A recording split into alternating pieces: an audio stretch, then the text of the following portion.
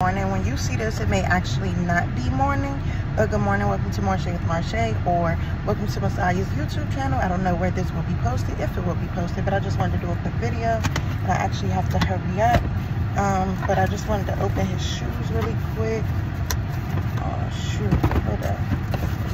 I thought I prepped it. I thought I had it open. For easy access. Give me one second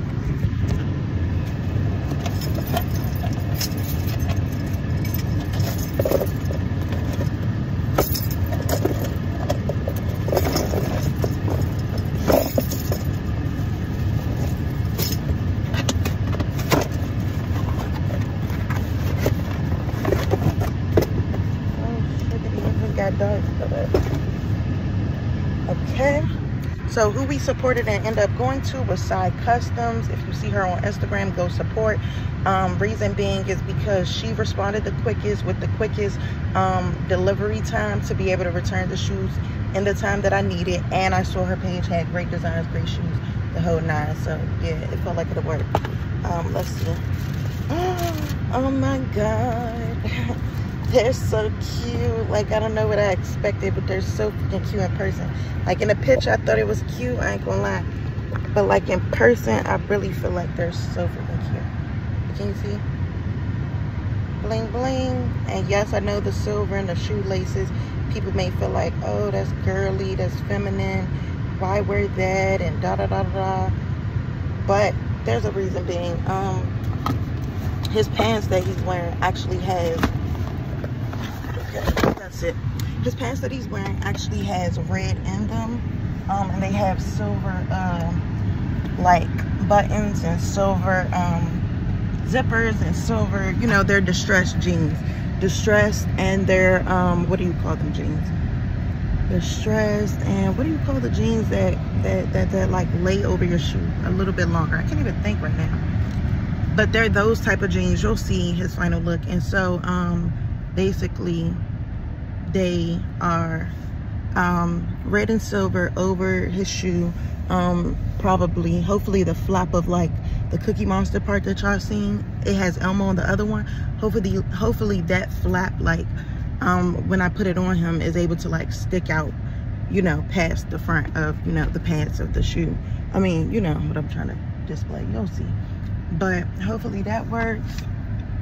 Um and so yeah that's my goal. My goal is to